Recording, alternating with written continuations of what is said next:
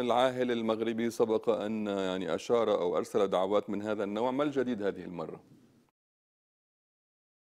نعم آه، كما قلت أن هذه ليس هي الدعوة الأولى التي يدعو فيها ملك المغرب الجزائر لإعادة العلاقات المغربية الجزائرية إلى مسارها الطبيعي ولكن آه، هذه المرة آه، تميز آه، تميزت هذه الدعوة أولا بتزامنها مع خطاب المسيرة الخضراء وهذا له دلالة عميقة جدا.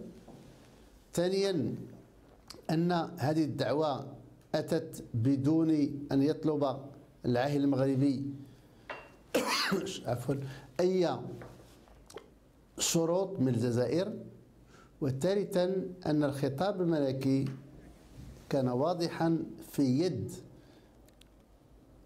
كل المساعدة وكل الآليات يعني التأمين وآليات الجدية في فتح عهد جديد. إذا هذه المبادرة الملكية الجديدة تميزت اولا بشكلها لكن دكتور ميلود هل هل الرباط تمتلك معطيات جديدة؟ لأنه كمان كان مفاجأة في هذا الموضوع. هل هناك معطيات جديدة سواء على مستوى المشهد داخل الجزائر أو داخل المغرب أو حتى داخل المشهد الدولي حول تح... إمكانية تحقيق إنجاز هذه المرة؟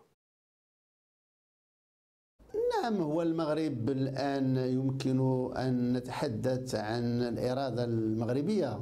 لكن الجزائر إلى حد الآن لم يصدر أي بيان رسمي عن النظام الجزائري للرد مباشرة على الخطاب الملكي.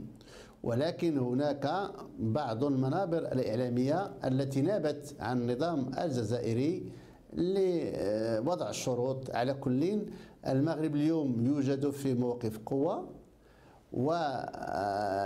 وقدم مبادرة مهمة للجزائر. هذه المبادرة أيدها المجتمع الدولي الاتحاد الأوروبي الجامعة العربية ودول الخليج وأيضا حتى بعض القوى الغربية القوية.